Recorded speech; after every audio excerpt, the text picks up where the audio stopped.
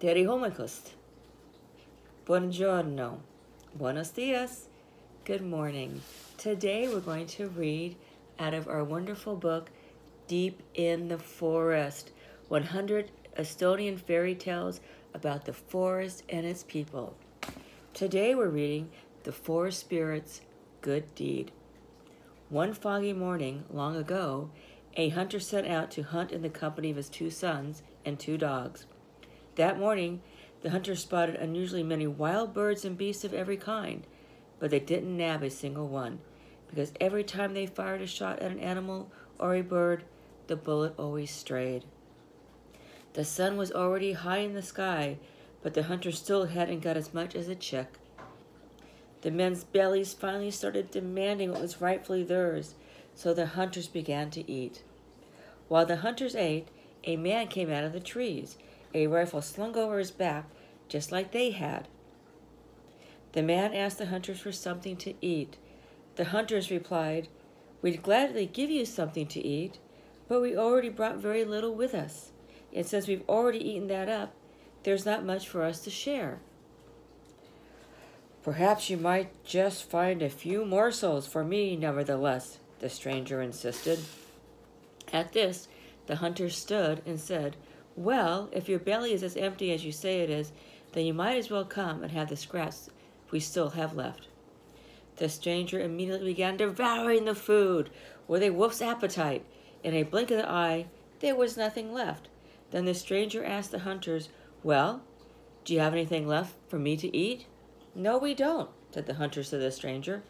Oh, well, fine. If you got nothing to give me, then, once I've started to eat, I've finally got to get a full belly. With these words, the stranger transformed, transformed into a huge, giant green man. Jatalane. The Jatalane seized one of the hunting dogs by the tail and swallowed it in a single gulp. Then the Jatalane did the same with the other hunting dog. Now the hunters realized what kind of creature they were dealing with.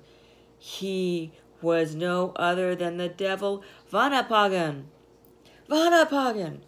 The hunters, of course, started reciting the Our Father backwards, but the Jatalane boomed in a thundering voice, Silence, you dog and his pups! Just like you saw your dogs dropped into my belly, so must you and your sons up there also. But I will give you a chance to escape, you old dog. Look, a watery gray eagle is flying near in the sky. If you strike the eagle with a single shot, then I will let you live. But if you cannot by tomorrow, then you're going in my belly, just like your sons are now. With those words, the Jatalane swallowed the hunter's son, gulp, gulp, and disappeared.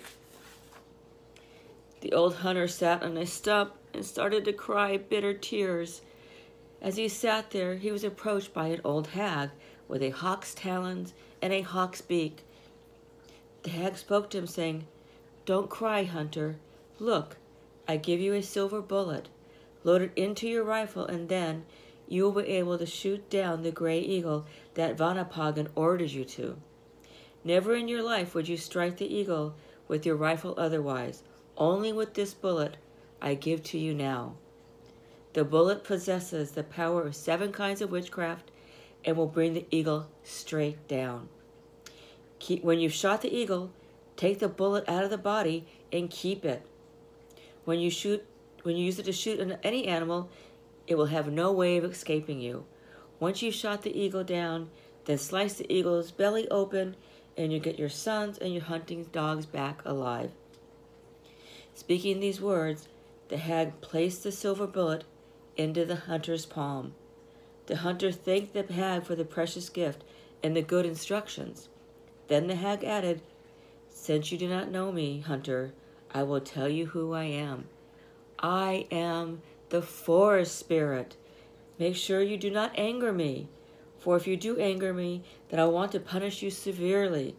And when your days are fair, then keep me in mind also. Having said this, the hunter spirit, forest spirit, returned from whence it came. The old hunter then loaded his rifle, raised the muffle, and aimed at the eagle. The bang rang out, boom, boom, and the eagle crashed down before the hunter's feet. The hunter, did, the hunter then did as the hag had instructed.